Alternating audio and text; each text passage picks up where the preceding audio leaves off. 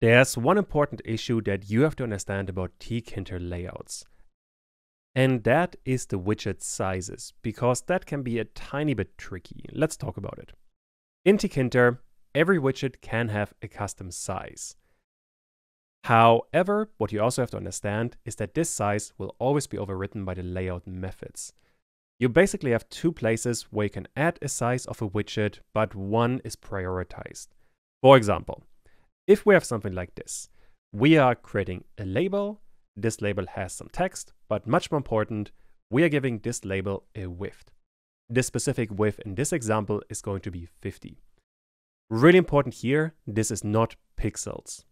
Tkinter uses a really weird measurement system where this 50 is the width of 50 characters. It's kind of weird, but don't worry too much about it. What is much more important for now is that we have two different kinds of width.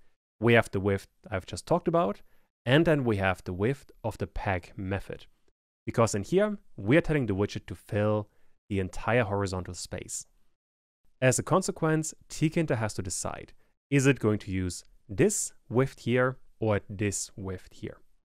And the default answer for tkinter is going to be this one here. tkinter always relies on the inbuilt layout methods as the main layout tool. So if you have two different kinds of width, the actual width you are going to get is the one from the inbuilt layout method.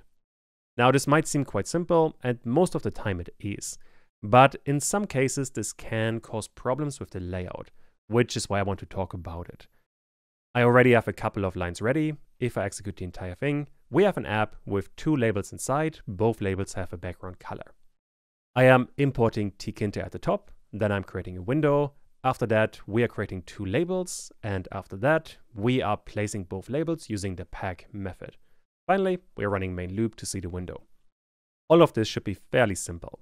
And now we can start working on the layout itself, or more specifically, I want to give label 2 a custom width.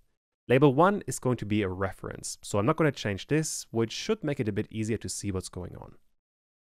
Both labels are right in the middle of the window.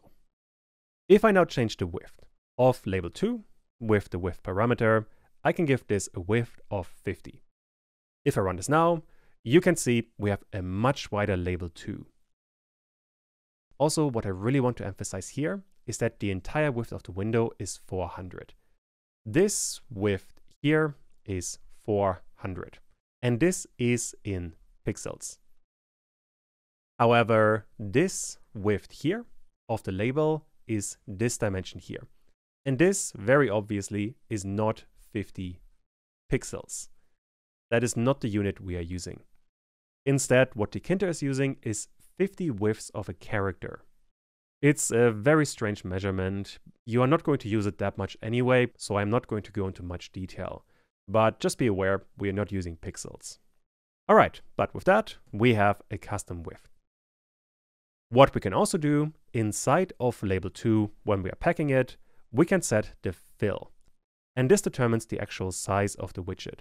If I, in here, set this to x and run this again, we can now see that the second label covers the entire width of the window which means that this fill x here covers the entire window, while this width here is simply being ignored. In practice, you could just remove it, and this is what you probably want to do. 99% of the time, you simply want to use the layout methods to create the size of a widget, because that way the entire system is going to be responsive, and well, using hard-coded numbers can be a problem. For example, if I remove this fill here, we can see our label has a certain width again. But now if I resize the window, this doesn't change. We always have the same width of the label, which is going to be a problem if the window gets too small or if the window gets really large. This is a general thing you want to understand for layouts. You basically always want to have flexible layouts.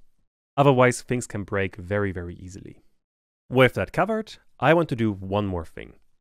Right now, we looked at the pack method, but we also have to look at the grid layout.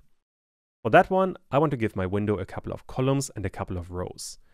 Let me start with the column. With column configure, I'm going to create two columns, 0 and 1. Both are going to have a weight of 1, and I'm going to set the uniform to A. This I can now duplicate, and I want to have a row configure. I also want to have two rows with 0 and 1 with the same weight and same uniform argument. That way we have four cells with an identical size. Inside of this one, I now want to place my label 1 and label 2, which means label 1 dot grid.